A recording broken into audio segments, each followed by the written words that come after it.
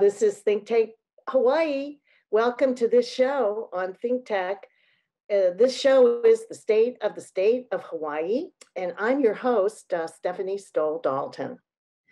We have a guest today, Brooks Baehr, who is an official um, on the Department of Health's COVID 19 and pandemic response team. And he serves as the Department of Health's uh, communications person and as spokesperson. So we uh, have an excellent resource here for discussing Hawaii's success in rolling out COVID vaccinations and other helpful support for our, our response to the, to the pandemic.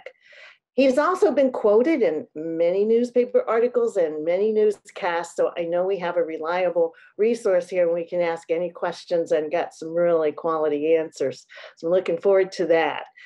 Uh, we uh, participate. We really appreciate Brooks' participation in Think Tech Hawaii, and uh, I do want to welcome him now as my guest on the state of the state of Hawaii. So welcome, Brooks. Stephanie, thank you so much. Uh, I will try to live up to that good billing. You know, there is so much good information um, that uh, we would like to share um, about COVID-19, about the ongoing vaccination effort, about how people can continue to protect themselves and protect the, their neighbors and all of Hawaii uh, as we continue to deal with this really horrible pandemic. So thank you for the opportunity. Any chance we get where we can share information, we embrace it. So, and, and, and uh, you gave me good billing. I'll, I'll try to answer any, any questions, uh, the softballs and the hardballs too. Well, we'll take that offer seriously because as we go forward, we um, are going to be real interested to know how all of us are progressing in our challenge to get vaccinated completely. Because we do, if we even getting over this first hump, which I'll ask you about, we, we then have the second round. And that's certainly you, your accomplishment for the your departments and the state of Hawaii's effort to get this first round done is is certainly uh, worthy and um, tremendous effort. But you know you got to do it again. So two times Mount Everest. So I think uh, you know we'll probably like to talk again, and I really appreciate that offer. Well, why why don't you start out telling us from your vantage point and your information? Um, is the distribution process going well? Is this progressing well for everybody? Yeah, thank you. Well, uh, let me tell you first of all that this this really is kind of uh, a Herculean effort because nothing like this has ever been uh, attempted, attempted or accomplished before, not only in Hawaii but around the country and the world, to try to vaccinate so many people, inoculate so many people in such a short period of time. That's really never been done but it is so critically important that we get this done. So we're charging full steam ahead um, with our partners at the CDC and our partners all around Hawaii, whether it be um, in the local hospitals, at the county level, at the federally qualified health centers, uh, the pharmacies. We are all partnering to try to get as many shots in arms as quickly as we possibly can. Um, we said from the beginning that we expected there would be some bumps along the road because, again, nothing like this has been attempted before. Um, and there certainly have been bumps along the road.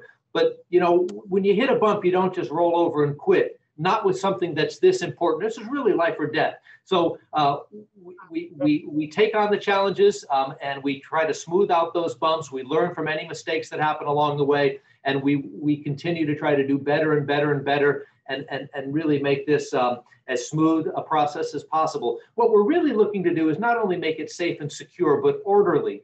I know that you've seen images from around the country where there are these long, long lines of either cars or sometimes elderly people camped out overnight waiting for a vaccine. That's just not the way we do things here in Hawaii. That, that doesn't show the aloha, especially to our kupuna. We're not going to have them camp out over, overnight, you know, waiting for a vaccine, only to find out that when morning comes, there might not be a vaccine for them. So, well, regarding that, uh, unlike February last year, we did not get the tests. I, I remember being at Kapiolani and being told that people were going into their emergency room and they had these symptoms and they suspected that they were COVID, but they didn't have the testing kits. So we didn't get the testing kits. Well, then it turned out that nobody did. So Hawaii wasn't disadvantaged just for its own sake. But it looks like now its own sake being so far away. But um, for now, it looks like we're in the running just as all the states are for our, our, our vaccine supplies and those are coming as they should and at the level that it's being distributed, even though, and, and is that enough? And are we? Well, no.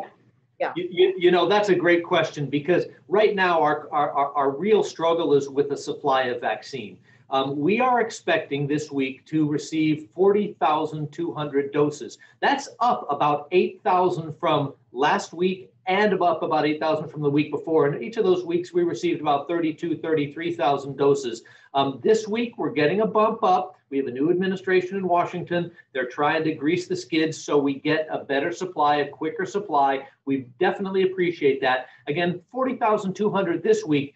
We think we can easily administer 60 to 70,000 vaccines a week with the infrastructure we already have in place. Now, if we were able to secure an additional 20, 30,000 vaccines and we were able to get our hands on 60, 70,000 vaccines a week and get those shots in arms, you know, we could knock this thing out and have everyone that wants to be inoculated inoculated by the end of August. And that would be just terrific because then we'd have the upper hand on COVID 19. But supply is the problem. Right now, demand far outstrips supply. So many people uh, from so many corners of the island, so many age groups, so many walks of life, so many professions, everyone clamoring for the vaccine. And that's really a good problem to have because the real problem would be if no one wanted to get vaccinated, because then we'd have to go out and sell people on the idea. But as everyone sees more and more people getting vaccinations and, and, and they're not having these bad adverse uh, side effects. Yeah, few, uh, some people have had side effects, but we haven't seen any really horrible side effects in Hawaii. And I have seen so many people, um, even you know, elderly, frail people, they get the vaccine, no problem whatsoever. That's encouraging more and more people to accept uh, the vaccinations, and that's what we really need if we're going to get the upper hand on on, on COVID nineteen. And, and As far as the supply is concerned, now, is it that the state could ask for more, but somebody else, like you said, the administration already has uh, gifted us with more. Maybe they did that for everybody, and that's a good sign. They're working really, really hard. But was that asked for? Or, or do does Governor Ige ask for more, or ask for some? Well, what happens on that ordering thing? Is this an automatic? Can you tell us a little bit about how we get it out Yeah, here in Far Pacific? It, it's an allocation through the federal government. Right now, we're getting both the Pfizer BioNTech uh, vaccine and the Moderna vaccine. Uh, and we we request um, well, the, the federal government gives us an allocation. They say, yeah, this is this is what you know you, you can get, and, and and we want it all. You know, we have not said no to one single dose. In fact, again, we want quite a bit more because we can get those shots in arms as long as we can get you know more supply. And this is not a problem unique to Hawaii, I should point out. This is a problem across the country. Uh, people are clamoring for more doses of vaccine, uh, and and we're optimistic now that that this is going to start to take off. You know that uh, Johnson and Johnson uh, is going to be soon applying with the Food and Drug Administration for its emergency use authorization, and if it gets that. Um, uh, the CDC would then take a look and, and give recommendations on how the vaccination should be administered. But with FBA, uh, FDA uh, granting an emergency use authorization and recommendations from the CDC, we could soon be using the Johnson Johnson vaccine as well, and that should help increase our supply. So that would be really welcome news. I see. So that would just, that would be a third stream in. That's really interesting. I, I did want to ask you, you mentioned that we're likely, if we're on peace as you describe it, if the Department of Health is running a really such a, um, a lickety split operation that's working. Um, you, is there a timeline for getting everybody vaccinated? I think you said by August, maybe um, we could be uh, we could have covered all those that are uncomplicated and you know willing to do it. Is that the timeline? Has the state set a, or has the department set a timeline for accomplishing this feat? Yeah, actually, we have a, an image that will help um, ex- explain our timeline. Um, and uh, as you know, we started with what was the phase 1A category. And those are the healthcare professionals and residents and, and employees of long term care facilities. Now, the hospitals were the ones administering the vaccinations um, to healthcare professionals. So if you worked at a hospital, it was very easy. Um, in, in that phase 1A, you would get your inoculation uh, through your hospital where you work. If you work, say, in an independent doctor's office or a physical therapist office or a dentist office in a particular community, let's say you worked uh, in Kaneohe in a dentist office, um, you, you, filled out a survey and uh, you would be uh, then linked up with your local hospital in Kaneohe. The example would be um, Adventist Health Castle, and you would go to Castle and they would administer the vaccine there. The pharmacies, the big ones, CVS and Walgreens, they've been vaccinating people uh, in the long-term care facilities. So that 1A is pretty much taken care of. Uh, there are still some physicians and people in long-term care facilities uh, who are getting their shots, but we have now, as you know, moved into phase 1B. And phase but, 1B are our kupuna, 75 and above, right? We, yeah. we want to get them vaccinated. And the essential workers. But, but first of all, back to 1A. Yeah. How did everybody know to go to pier? The thing is, it was like wasn't the windward sign? I mean, these are kind of nit grit questions so we can be fast here but didn't the windward side get it going fast and and and got really into it and and productive before we did over here in honolulu? And then all of a sudden everybody showed up at pier two on a friday like 8000 people or so. So what what was that startup uh, well, first of all the the, the 1a like um, there was no open registration um, for the general public. Um, if you worked in the hospital, you you got vaccinated at your hospital. If you worked at the private uh, health, you know the de- the independent dentist office or the physical therapist office, you went to our website, which I encourage everyone to visit, which is hawaiicovid19.com, and there was what's called a survey there, and you would um, go to the uh, website and fill out the survey. You would say, uh, I have a dentist office uh, in Kaimuki. Um, I have 12 employees. Uh, 10 of them would like to be vaccinated. And we would receive that information. We would then send that to the hospital. And that hospital would then schedule with that dentist office for those 10 people to come in at a designated time, at a designated place, and be vaccinated. So that was all before these pods opened up. Um, Thank you for that yeah. explanation. Yeah, and, and I can keep talking through that timeline. And I'd also like to talk about the different ways we're administering the vaccines because so much attention is given to the pods, yeah? Um, because, uh, you know, it's seen as this mass vaccination site. But the pods or, or points of dispensing are really just oh, one of the, of the, four ways um, that we are we are getting the vaccines out there. But let's throw that um, timeline back up there if we can. Just... The pod, the four, uh, those are the places. So those are pier Two. Those are uh, what are the pods? Points okay. Yeah. yeah. Uh, so the points of dispensing um, are, are are actually number four on our list of, of methods. So the, the first way we were getting shots out there was the long-term care facilities. And we've talked briefly about that, how the, the big pharmacies would go out and they would go to the uh, Palolo Chinese home or Hawaii Kai retirement home or something. And they would go to these retirement communities and they would administer the vaccine on site. So that was one way. There are more than 1,700 different small care homes or long-term care facilities around the state. Now, there are people living in these homes, maybe three, four people, two, three, four people at each one of these more than 1,700 homes who need to be vaccinated, and they're in 1A. Well, they're not going to end up um, at, you know, you can't you can't have them travel down to say the Blaisdell or Pier 2 a lot of these people are homebound, so we need to get the vaccine to them, deliver it to them. And so we partnered with a lot of the small pharmacies. These small independent pharmacies go out armed with the doses and the va- and, and the vaccines, the syringes, and they go out into each one of these almost 2,000 homes around the state to administer one by one by one the vaccine. So that's our second way of getting the vaccine out. The large long-term care facility, the small long-term care facility, and there, then there are the very important federally qualified healthcare centers like Waianae Coast Comprehensive Health Center or Waikiki Health or Kalihi Palama.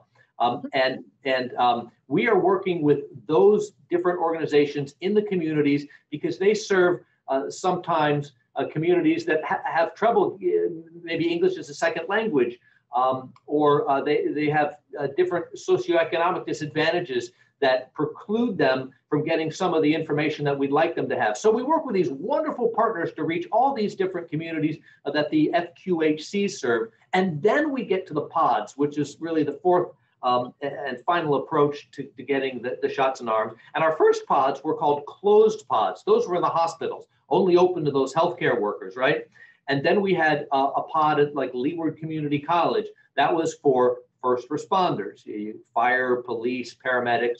And now the, the, the pods that everyone thinks are these mega or larger pods, and those are the Pier 2s, and those are the Blaisdells. So those now open up to a, a bit of a broader population. But if you go back to the timeline, right now we're in 1B. So it's the Kupuna 75 and above, and it is um, the frontline essential workers. Uh, and there are uh, in the community about 230,000. About the pods. Okay, so we understand that, and all of the people that were serviced within those pods who are in the highest level of the tiers, right? So they're in tier 1A. All yeah. the people that were served in that uh, beautifully, it sounds like, um, in in those uh, smaller facilities and larger facilities. But you're still following the ranking of the tiers.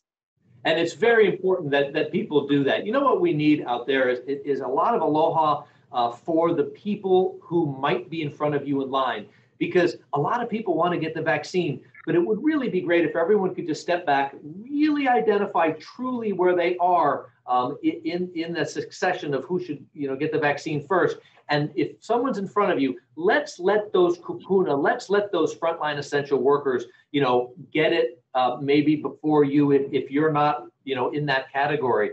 Uh, we've had some kind of line skipping and line jumping. Uh, and we, we'd like to ask everybody to kind of kind of wait their turn. The vaccine's coming and everyone's going to have a shot at it. It's absolutely free, but let's take care of those high risk people first and the people that we need to stay well so they can serve our community. People like you know Hawaiian electric workers and the judges and the public defenders and the prosecutors, uh, those kind of the policemen, the firemen. We need those people to be back. The teachers in re- well, yeah, okay. In regard to that, uh, there are people that have um, tried to go to the place, and finally, Hawaii's gotten the message out. You must have an appointment. But when I, but I've heard that, for instance, at the pods, when the, we had the rainy days, the one I guess it was a week ago, Monday, Tuesday, with these tremendous rains and big traffic tie-ups, then people didn't show up for their for their their shots, their shot appointment time.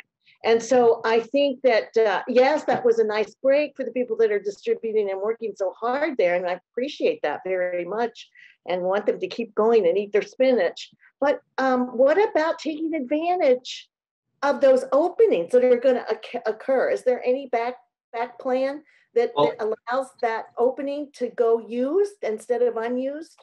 Yeah, no. Uh, first of all, we're not wasting any vaccine. Um, and I hadn't heard that uh, people were not showing up for the vaccine. Um, I certainly would not miss yeah. my opportunity if, if I had. No, no, but they, could, because they couldn't because of the rain and that it just slowed down everything. Uh, um, okay, understandable, but I, I uh, telltales out of school. But anyhow, I have heard that. My, well, uh, yeah. I, I, I, would encourage everyone to try to make their appointment. Don't show up too early, yeah. but maybe 15 minutes before your appointment time show up. We don't want the traffic jams. But um, I'll tell you what we're not doing is we're not wasting vaccine. In fact, we are actually squeezing often an extra dose out of, you know, the Moderna um, or, or, or, the Moderna comes in a vial with five doses, excuse me, 10 doses. The Pfizer has five. We're often squeezing a sixth one out. So if we get um, a what's called a pizza box of Pfizer uh, doses, there are supposedly 975 doses in there, but we're often getting at least 100 more than that. Um, and so that's that's great news. And then at the end of the day, if there are one or two left over, and, but you've already broken into the vial, and so you you don't want to throw it out because that that's like liquid gold. You know, that's precious cargo. Um, they, they have waiting lists and they will call people and say, hey, come on down, get your shot. So we're really trying hard not to waste anything.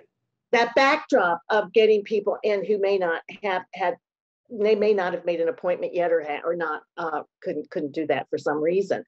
Well, you know, I just think that uh, the tiers are really helpful, as you say. And if people take the time to look at the tiers and the rankings of all the people, of course, it does raise issues as to for instance, with the balance that has to be established across our country and the states about the formula and the distribution of the of the vaccinations and the reopening of the economy. I mean, we have a, an issue here regarding women at home with children and women who've even given up their jobs, and I'm sure some fathers that have had to also. But we've got the teachers being ambivalent about getting back into schools where they're going to be with all these youngsters, and we still don't know enough about their their contagion levels or their infection levels or any of that.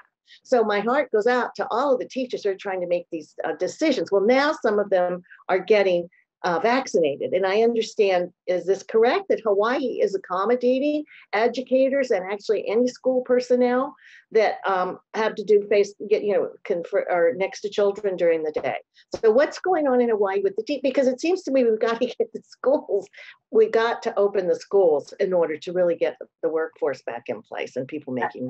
Ab- absolutely. We not only need to get our kids back in to educate them, but you know, a lot of parents have had to sacrifice uh, on the work front because they've got to stay home with their kids during the day because the kids aren't going to school. So, got to get the kids back in school. Got to get the parents back on the job. Um, and teachers are right there in phase 1B. They are being vaccinated now, I think, in all counties. Um, we are working directly, for example, with the Department of Education. We asked the department, give us lists of people who you uh, prioritize as people who should get the vaccine, you know, as early as possible. They then give us names. We received more than 18,000 names already from the Department of Education. We then take those names and we farm them out to the different points of dispensing. And then the teachers are contacted via email. Uh, an appointment is scheduled. They're given a date and a time. And, and the teachers are now being vaccinated. Very important that, that uh, we not only protect their health, we protect uh, the, the kids' health, and, and we get everybody um, kind of back where they want to be, which is in the classroom and on the job. I know, and th- this is very reassuring. And my uh, because we go and even into the grocery stores or the drugstores, and there's all kinds of plastic up and dividers and all of that. And of course, their ventilation systems purportedly are updated and are are uh, changed and cleaned and, and will catch this virus. But that's not been the case in the schools. That there hasn't been the budget to get in there and really ramp up those ventilators and make sure that their surfaces are protected from uh, you know, with or their their exchanger, you know, their kids are surrounded with these plastic, uh, Well, the- you know, yeah.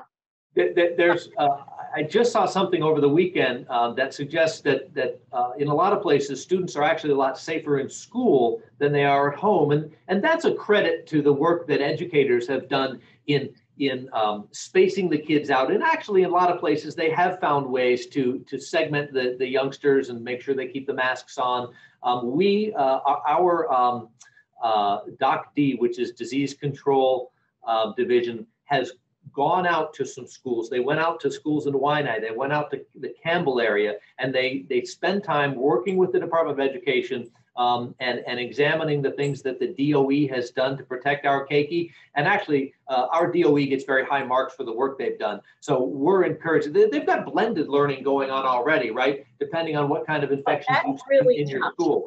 Everybody's the beginning teacher when it comes to virtual. Okay, so we're all right back at pretty, you know, base zero, you know, competence in, in making all of that happen. Of course, everybody's gotten much better and quickly over this time, but it is, it has been a loss for the youngsters. And I'm sure we're going to see all of this if we ever get back to doing the tests again. But um, I think that uh, bringing um, those, the the DOE acknowledging and you all seen that, you know, a high school teacher can see 150 kids every day. I mean, 150 people, you know, and be close to them for a long time. Um, Yeah. so, you know, you have five, six classes like that, and then you go also do coaching of something or other. So um, this has really been close. And then with the little, with the grade schoolers, you know, you, they're coming from multi-generational homes and not really like teenagers usually have their own spaces, you know, so we have all of that clustering of uh, intergenerational families. So it's uh, it's the um, it, it's very dangerous for everybody going both ways. Like you said, kids in some respects are much safer in school and some are much safer at home. And so, but going both ways, it's a two-way street for this virus to just have gangbusters day, going wherever it wants. So anyway, those are the kinds of things that have haunted me about teachers being put in the position of uh, being forced or encouraged to get back to school or lose their paycheck or something, and then they have to expose themselves in such a, um, a really terrible way, really.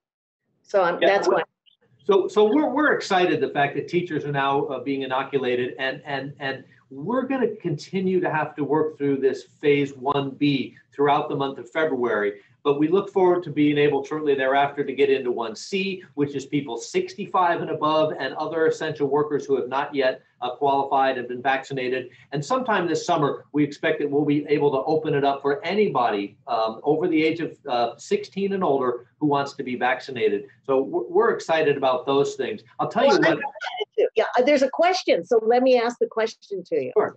If the vaccines are free, why do I have to present my health care insurance when I register? You, you actually don't. Um, the, the, um, some of the providers would like you to bring, uh, your, um, insurance card with you, but you absolutely don't. In fact, I have, I have a ninety-year-old mother and it, it warmed my heart because I was able to take her to get uh, vaccinated. She got her first shot of Moderna and I took her to one of our Department of Health sites, which was over on the Windward side, uh, that she registered for. And, uh, she did not bring her, um, insurance card and, uh, absolutely nobody will be denied or should be denied a vaccine because they don't have insurance. Um, these vaccinations, these doses, they are a public commodity, and and we, we can't deny it um, to, to someone who just because they don't have insurance. Um, absolutely not. Uh, th- this needs to be given to the rich and the poor across the board. Very good. Well, we're getting a little short on time here, so let me ask you, uh, knowing there's no crystal ball, but can you suggest uh, uh, what it's going to be like going forward? I mean, I hear a lot of uh, success already and, and much accomplishment. So, what do you see going ahead, and what roadblocks or impediments might actually pop up? Maybe they wouldn't even be here in Hawaii. Maybe they'd be federal. But anyway, what what do you see on is our path forward? Well, right now we're dealing with a supply shortage, but we certainly hope that we have uh, more doses coming in uh, before long. And as that ramps up, uh, we will get the shots in arms. Um, we, we've just got to stick with the plan, keep going through phase 1B, 1C, uh, and sometime this summer, hopefully available to everybody. It's important that everyone know that even after they get a vaccination, they should continue to wear the mask, to physical distance and avoid large gatherings. Uh, we really want to use all the tools in our toolbox. The vaccine is one of them, but certainly the mask, the physical distancing, those are other very important tools. Um, the vaccine is not a panacea, but used in concert with the other things, uh, I think we're going to be able to beat COVID 19. And one quick message there's a big football game coming up, and we know that some people traditionally like to get together and have a big party to watch that football game this year would be a bad year to get together and do that. Try to watch at home with just people who are already in your household bubble, and uh, that will prevent you from being exposed to other people and perhaps sharing COVID 19. Well, what about a few big screens up in Ala Moana Park or Kapiolani? Uh, outdoor is way better than indoor. The air helps dissipate uh, the droplets in the air, so that would be that would be a better idea. But again, big gatherings not a good idea. Best just to stay home and cheer for your team because we all want to be around next year for next year's game. want to do that. Well, I it's it's getting to be aloha time here, and uh, we'll have to close. Um, and um, appreciate your uh, pro- projections and also your admonition to watch the Super Bowl at home with your own bowl of popcorn or whatever treat you really like. And I know there are many treats that you like and can have there easily, even easier than being outside or at, a, at someone else's house. But this is um, the uh, state of the state of Hawaii uh, program on Think Tech live streaming network. And we've been talking remotely with Brooks Baehr, who's spokesperson from the Department of Health here in Hawaii. And we appreciate all the information he has shared. And we look forward to continuing to see a tremendous uh, accomplishment coming out of, of that agency in our state government. Thank you so much, Brooks. Thank you, Stephanie. We'll keep working on it. We really want to protect people and save lives. Thank you for this opportunity and be well. Aloha. See you in, in two weeks on Mondays. It's the state of the state of Hawaii. Mahalo for your attention.